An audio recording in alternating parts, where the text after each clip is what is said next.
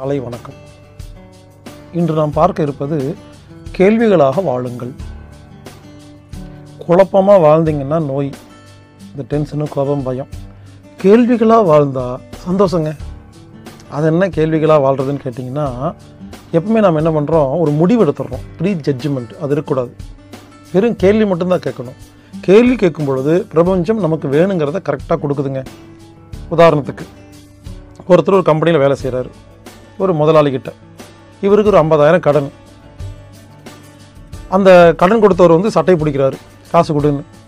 இவரே முடிவு பண்ணிடுறாரு சொந்தக்காரங்க தர மாட்டாங்க ஃப்ரெண்ட்ஸ் தர மாட்டாங்க காசு இல்லை அடமானம் வைக்கிறதுக்கு நகை இல்லைன்னு இவரே எல்லாம் முடிவு பண்ணி இவரே முடிவு பண்ணிடுறாரு.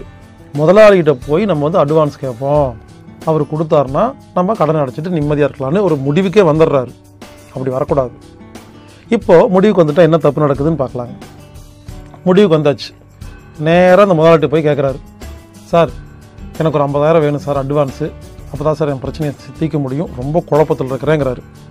அந்த முதலாளி இல்லைப்பா ரொம்ப பணம் டைட்டாக இருக்குது என்கிட்ட காசு இல்லைன்னு சொன்னால் இப்போ என்ன ஆகும் அவ்வளோதாங்க கன்ஃபியூஸ் ஆயிருங்க. உடம்பு வீக் ஆயிரும் நோய் வந்துடும் மனசு டென்ஷன் ஆயிரும் புத்தி தெளிவாக இருக்காது கடுப்பாக இருக்கும். என்னாச்சு? நாம் முடிவுக்கு வந்தது தாங்க இப்போ தவறு. அப்போ என்ன தெரியுமா பண்ணணும்? நல்லா கேவீங்க கேள்வி மட்டும் கேட்கணும். என்ன கேள்வி கேட்கணும்? இப்போ நான் என்ன கேட்குறேன்னா உங்கள் முதலாளி ஐம்பதாயிரம் கொடுத்தா என்ன ஆகும் கடனை கொண்டு அடைப்பீங்க. கடன் அடைச்சா என்னாகும்? நிம்மதியாக வாழ்வீங்களா? நான் என்ன பண்ணுவேன்? இந்த மாதிரி சுச்சுவேஷனில் நான் கேள்வி மட்டும்தான் கேட்பேன். யாருக்கிட்ட பிரபஞ்சத்துக்கிட்ட. என்ன கேட்பேன்? எது நடந்தால் நான் நிம்மதியாக இருப்பேன். எது நடந்தால் நான் நிம்மதியாக இருப்பேன். நல்லா கேவீங்க வெறும் கேள்வி மட்டும்தான் கேட்குறேன். பதிலெல்லாம் நான் சொல்லலை. அப்போது எது நடந்தால் நிம்மதியாக இருப்பேன் எது நடந்தால் நிம்மதியாக இருப்பேன்னு கேட்க கேட்க கேட்க கேட்க இந்த பிரபஞ்சம் என்ன பண்ணோம்? உங்கள் நிம்மதிக்கு ஏற்பாடு பண்ணும். ஒன்று முதலாளி கொடுப்பாரு. இல்லையா? ரோட்டில் போயிட்டு இருப்பீங்க ஒரு ஃப்ரெண்டு ஒருத்தரை பார்ப்பீங்க மச்சான் டேய் நீயாடா? நம்ம ரெண்டு பேரும் மீட் பண்ணி இருபது வருஷம் இருக்குமா? ஸ்கூலில் ஒன்றா படிச்சதுன்னு பேசிகிட்டு இருக்கீங்க. அந்த உங்கள் ஃப்ரெண்டு ஸ்கூலில் படிக்கும்போது நூறுரூவா இல்லாமல் நீங்கள் தான் கொடுத்து ஹெல்ப் பண்ணியிருக்கீங்க அவர் இப்போ பெரிய கம்பெனியில் பெரிய வேலை செய்கிறாரு நிறைய சொத்து நல்லா வசதியாக இருக்கிறாரு. அவர் பார்த்துட்டு டேய் நீ மட்டும் அன்னைக்கு எனக்கு நூறுரூவா கொடுக்கலன்னா நான் இவ்வளோ பெரிய ஆளாக ஆயிருக்க மாட்டேன்னு சொல்லிட்டு பேசிகிட்டு இருக்கும் பொழுது என்னடா முகம் வாட்டமாக இருக்குன்னு கேட்குறாரு ஒன்றும் இல்லைப்பா ஒரு ஐம்பதாயிரம் பிரச்சனை. முதல்கிட்ட முதலாளிட்ட கேட்டேன் தரமாட்டேன்னு சொல்லியிருக்காருன்னு சொன்ன "டே, போடா ஒரு ஐம்பதாயிரம் விஷயமான்ட்டு அவர் கொடுத்தாருன்னா வாங்கிக்க மாட்டீங்களா? நான் சொல்கிறது புரிஞ்சுங்களா அதே மாதிரி ஒரு கேஸ் நடந்துட்டுருக்கு. உங்களுடைய பழைய சொத்து. திடீர்னு கேஸு உங்கள் பக்க பக்கம் தீர்ப்பு கிடச்சி உங்களுக்கு அந்த பணம் வந்துட்டா நீங்கள் ஒத்துக்க மாட்டிங்களா? நான் சொல்கிறது புரிஞ்சுங்களா இல்லை அந்த கடன் கொடுத்தாரு இல்லையா? அவருக்கு ஒரு ஆபத்து வந்து நீங்கள் உடனே போய் காப்பாற்றினால தம்பி என் உயிரை காப்பாற்றினப்பா அந்த கடனை திருப்பி தரதப்பா நீயே வச்சுக்கணும் இன்னொரு ஐம்பதாயிரம் கொடுத்தா வாங்கிக்க மாட்டீங்களா? புரியலையா? இந்த உலகம் மேஜிக்கல் உலகம்.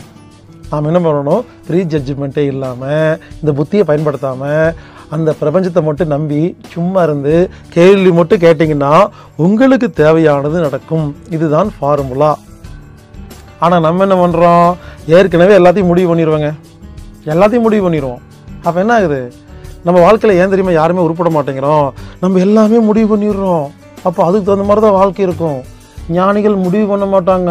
என்ன வேணுமோ கேள்வி கேட்டு பேசாமல் இருப்பாங்க. தேடி வரும். இதான் ஃபார்முலா உதாரணத்துக்கு கல்யாணம். நம்மெல்லாம் ஏன் தெரியுமா ஒழுங்காக கல்யாணம் பண்ணி நல்ல ஒரு ம கணவனையோ மனைவியோ சேர்ந்து ஒன்றா வாழ முடியல? அதுக்கு ரூல்ஸ் தாங்க காரணம். அதாவது இவங்களே முடிவு பண்ணிட வேண்டியது. இவங்க வீட்டில் படித்த ஒரு பெண் இருப்பாங்க.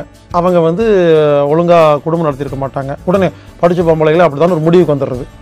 இன்னொரு வீட்டில் படிக்காத கிராமத்து பொண்ணு வந்து நல்லா இருந்திருக்காது. உடனே அதை முடிவு பண்ணிடுது. கிராமத்து பொண்ணு கல்யாணம் பண்ணக்கூடாதுன்னு. ஹலோ உங்களுக்கு என்ன? நல்ல ஒரு பொண்ணு உங்கள் கூட வாழ்கிறதுக்கு நல்ல ஒரு பையன் இருந்தால் போதுமா இல்லையா? அப்போ என்ன பண்ணணும்? ப்ரீ ஜட்ஜ்மெண்ட்டே இருக்கக்கூடாது. பல பேர் அப்படி தான் ரூல்ஸ் வச்சுருப்பாங்க. என் முருசை இப்படி தான் இருக்கணும் என் பொண்டாட்டி இப்படி தான் இருக்கணும். ஏகப்பட்ட ரூல்ஸோட பொண்ணை தருவீங்க மாப்பிள்ளை தருவீங்க இந்த ஜென்மத்தில் கிடைக்காதுங்க. ரூல்ஸ் எல்லாம் விட்டுட்டு பாருங்கள் கேள்வி கேட்கணும். யார் எனக்கு மாப்பிள்ளையாக வந்தால் யார் எனக்கு கணவனாக வந்தால் நான் சந்தோஷமாக ஹாப்பியாக வாழ்வேன்? இந்த கேள்வி கேட்கணும். யார் எனக்கு மனைவியாக வந்தால் நான் நிம்மதியாக வாழ்வேன் லவ்வபுளாக வாழ்வேன்னு திரும்ப திரும்ப இந்த கேள்விகளை இந்த பிரபஞ்சத்திட்ட போட்டே இருந்தீங்கன்னா அதுக்குண்டான ஒரு பெண் அதுக்குண்டான ஒரு ஆண் உங்களுக்கு துணையாக வருவார். இதே மாதிரி தாங்க பிஸ்னஸ்ஸு டூரு எல்லாமேங்க. ரொம்பலாம் யோசிக்காதீங்க. ஜஸ்ட் நம்ம பண்ணுங்க கேள்வி மட்டும் கேளுங்க. இனிமேல் உங்கள் வாழ்க்கையில் இந்த குழப்பம்னு ஒன்று இல்லையா? அந்த குழப்பம் இருந்தாவே உடம்புக்கு நோய்ங்க. இவருங்க உங்கள் மனதில் குழப்பம் இருக்குங்கிற இருக்குங்கிறத ஸ்கேன் ரிப்போர்ட்டில் பிளட் டெஸ்ட்லாம் பார்க்க முடியாது. அது நமக்கு மட்டும்தான் தெரியும்.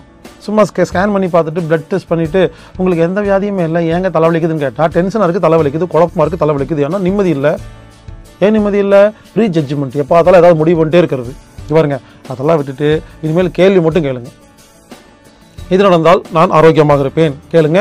எல்லா வியாதி குணமாயிரும். எது நடந்தால் என் மனம் நிம்மதியாக இருக்கும்? எல்லா வியா எல்லா மன குழப்பம் குணமாயிரும். எது நடந்தால் என் புத்தி தெளிவாக இருக்கும்? எல்லா பிஸ்னஸ் ஒழுங்காக நடக்கும். எது நடந்தால் எனக்கு வருமானம் வரும். எது நடந்தால் எனக்கான துணை என்னை என்னை பாப்பா பார்ப்பாரு அவர் நான் மேரேஜ் பண்ணிக்குவேன். எது நடந்தால் எனக்கு சிங்கப்பூர் டூருக்கு ஒரு வாய்ப்பு கிடைக்கும். எது நடந்தால் நான் எம்எல்ஏ ஆவேன். எது நடந்தால் எது நடந்தால் எது நடந்தால்னு கேள்வி மட்டும் கேளுங்கள் இந்த பிரபஞ்சத்துக்கு கேள்வி கேட்டால் கொடுத்துருங்க. அதனால் இனிமேல் இங்கே பாருங்க எதுவுமே வந்து முதல்ல முடிவெடுக்காதீங்க. இந்த முதல்ல முடிவெடுத்த யாருமே எந்த காரியம் வாழ்க்கையில் சாதிச்சது இல்லைங்க அதனால் இனிமேல் பிஸ்னஸ் வேணுமா வீடு வேணுமா உங்கள் கார் வேணுமா கடன் வேணுமா மனைவி வேணுமா கடன் அடையணுமா எதுவாக இருந்தாலும் சரி நீங்கள் என்ன பண்ணுங்கள் நீங்கள் செய்ய வேண்டியது எது நடந்தால் நான் ஆரோக்கியமாக இருப்பேன். எது நடந்தால் என் மனம் நிம்மதியாக இருக்கும்? எது நடந்தால் என் புத்தி தெளிவாக இருக்கும்? எது நடந்தால் என் குடும்பத்தில் அமைதி நிலவும்? எது நடந்தால் நான் எனக்கு குழந்தை பாக்கியம் கிடைக்கும்?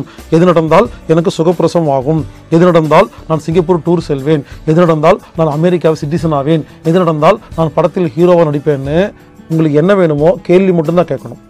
கேள்விகளாக அதாவது கேள்விகளாக வாழுங்கள்னு இதுக்கு பேருங்க. ஜஸ்ட் கொஸ்டின் மட்டும் ரைஸ் பண்ணுங்கள் இந்த பிரபஞ்சம் என்ன பண்ணும் அந்த கேள்வியை வாங்கிட்டு உங்களுக்கான பெஸ்ட் ரிசல்ட் கொடுக்குங்க. நான் வேறு மாதிரி சொல்லட்டா? எங்கே செல்ல வேண்டும் என்பதை பற்றி மட்டுமே நீங்கள் யோசிக்க வேண்டும். எப்படி என்பதை இறைவனோ பிரபஞ்சமோ பார்த்துக்கொள்ளும். அதாவது நீங்கள் எங்கே போகணுங்கிறத மட்டும்தான் யோசிக்கணும். எப்படி போகணுங்கிறதை யோசிக்கும் பொழுது அந்த இடத்துக்கு நாம் போக முடிவதில்லை. ஞானிகள் எப்பொழுதுமே எங்கு போக வேண்டும் என்று மட்டும்தான் யோசிப்பார்கள்.